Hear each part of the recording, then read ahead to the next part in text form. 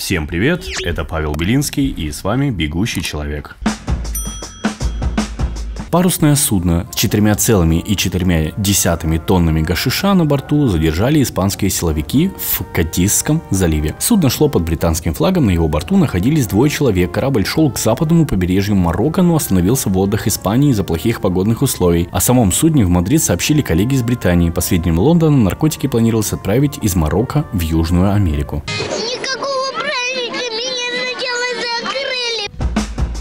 Известный политолог, консультант Дмитрий Орлов, связанный с «Единой Россией», потерял влияние, сообщают телеграм-каналы. Эксперт, якобы связанный с Володиным и Неверовым, в этом году даже не попал в топ традиционного рейтинга э, технологов политического издания «Новое известие». Также, по сообщениям политолога, который ранее получал множество заказов, не получил ни одного значного в 2022 году. И, вероятно, не получит и в цикле 23-24 годов. Когда стартует президентская кампания, что равносильно к концу карьеры и пределу влияния на «Единую Россию», телеграм-канал уточняет, что «Единая единственное достижение политолога Орлова в этом году – покупка квартиры в модном ЖК «Роза Росса» в Хамовников в центре Москвы.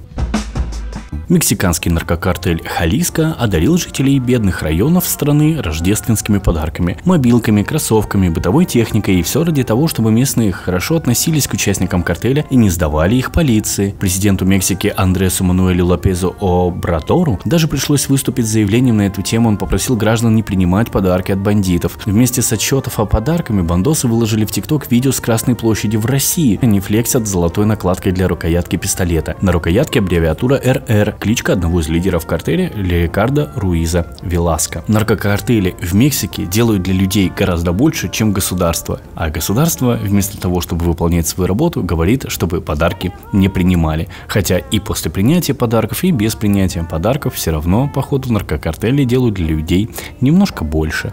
А может и не немножко. Настало время офигительных историй. Валентина Терешкова призналась, что во время своего космического полета беседовала с Богом. Он ей сообщил, что в 22 году на Землю придет антихрист по фамилии Зеленский. Соцсети.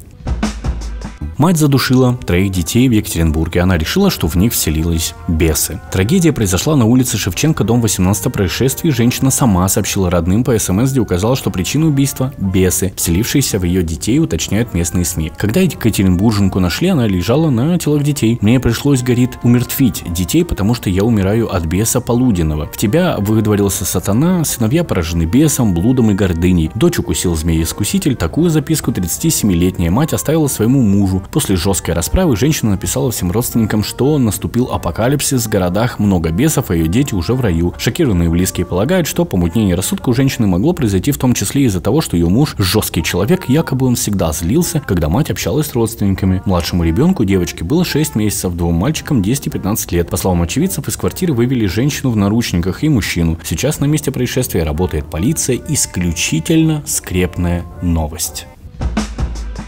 Если вам понравился подкаст, ставьте лайк, подписывайтесь на канал, додавите на колокол, чтобы не пропустить выход новых видео и подкастов и поддерживайте канал рублем. Все ссылки в описании. Спасибо, до скорого ролика.